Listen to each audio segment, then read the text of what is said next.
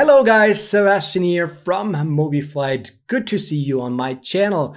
It is January 2024 and I'm here with the first release review video for the latest version that I just released yesterday. It is version number 10.1 and it includes some really cool improvements and one topic that it revolves around is community boards. And in this video, we're going to check out together why I'm so excited about this and why you also should be excited about it.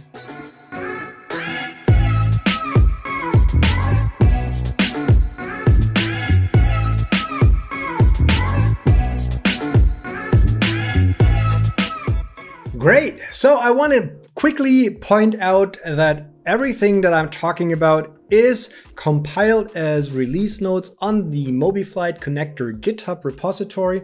There I will always collect um, all the information and details about the improvements that made it into the last release.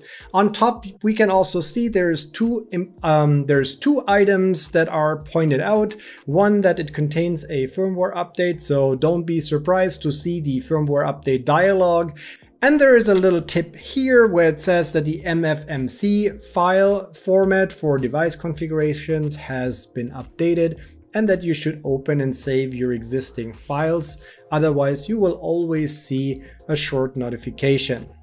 Let's scroll down to the new features and get into the exciting stuff. Okay, so community boards and custom devices is this new feature that I'm so excited about and I'm going to show this here. We have three partners who decided to onboard their products for 10.1 now here for this release, you can see it here. We not only have MobiFlight icons, we have Core Flight Tech icons, we have CAF simulation icon and Mini Cockpit with their Mini FCU. They have all now custom firmwares and they also have custom devices and everything is accessible in the MobiFlight UI. Full control uh, what kind of data you would like to send and also, you see that there's product pictures, website, uh, documentation and support links. There's typically a standard configuration provided with the device, which is very easy to be uploaded through this button. If you ever wanted to revert back to the um, standard version or standard Arduino, you can do this by using the reset function. So the installation is also pretty easy. If you go to the MobiFlight connector installation folder, there's a community folder and inside there you see that now these boards have different folders too with all the information that MobiFlight needs to know, including firmware files, etc, etc. All in all, we have put a lot of effort into making this onboarding very, very simple by um, creating also a very special GitHub repository and that's why I'm very, very uh, sure that we're going to see more products onboarding to MobiFlight soon. And we will also see more community contributions for more uh, exotic devices like OLED displays or other special devices that would not make it into the official MobiFlight firmware. So let's see what happens, what you make out of this feature. And there are three more official features in the 10.1. The first one is that the limitation for maximum number of devices of a certain type has been lifted, which means you can add as many as you like.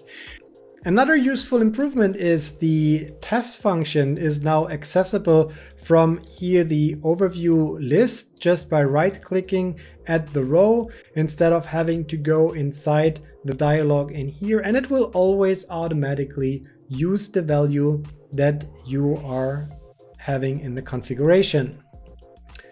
We also added the possibility to exclude single joysticks and MIDI boards or disable support for joysticks and MIDI boards entirely. Specifically, MIDI boards have the limitation with Windows that only one application at a time can have an active connection. And if it happens that you're using a different application than MobiFlight for uh, using your MIDI devices in the flight sim, then you might want to check out this feature. Or if you have a joystick that has a bad potentiometer, produces a lot of jitter on an axis, then you might want to disable the joystick if you don't use it with MobiFlight anyways, because then MobiFlight doesn't have to process all this additional information. Coming to the improvements of uh, release 10.1, uh, the first one is a subtle UI improvement. Here, when you click on any of the configs in the title, it will show the description of the configuration that you are currently editing. The other uh, improvement is that the columns and the width of all these columns will adjust automatically uh, to make sure that the text won't wrap around. Another improvement on the UI side is that if you are an X-Plane user and you have an X-Plane data ref, which you are copying over from the data ref tool, now anytime that you go here and you paste a code in there, it might have a white space, but MobiFlight will just trim it off because otherwise the data ref path won't work. And there were two additional performance related improvements on how we're dealing with USB devices. Let's take a look at some of the bug fixes that are really worth to mention. So first of all, sorry to any all the Arcaze users who suffered from a bug in the 10.0 release. Arcaze modules are now correctly initialized and can be fully used with MobiFlight again.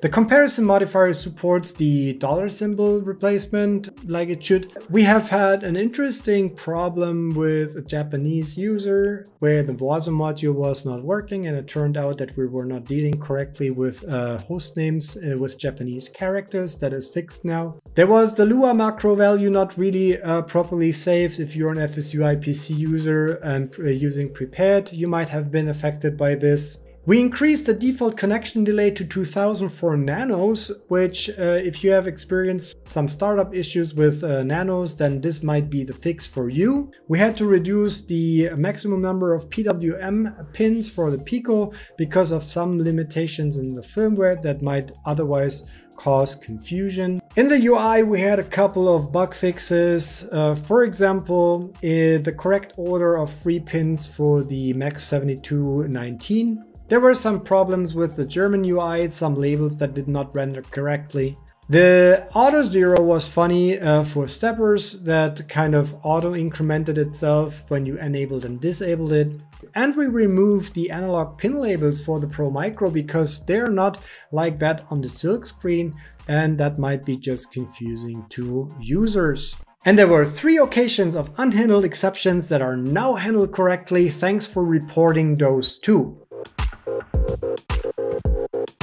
Talking about bug fixes, yeah, MobiFlight is moving forward, MobiFlight is developing and we're making mistakes, so there might be bugs. And if you find one, please don't keep it to yourself. Go to the GitHub repository of the MobiFlight connector and submit your bug there. Um, you can also join the Discord and open a forum thread and then we're really really happy to receive this kind of feedback because if it's a critical bug you might not be the only person that is affected and we will try our best to solve it as soon as possible. Now that we're at the end, I really want to take advantage and say thank you to everyone who contributed to this uh, fantastic release. Thanks specifically to everyone who helped me on the development side, specifically Ralph and Kozing again and Neil. Ralph, for example, is doing a fantastic job on the firmware side. That is really amazing. And we have this great uh, moderator team who are also providing an extraordinary support on our Discord forum. Cheers also to everyone who uh, shared their ideas or filed a bug report.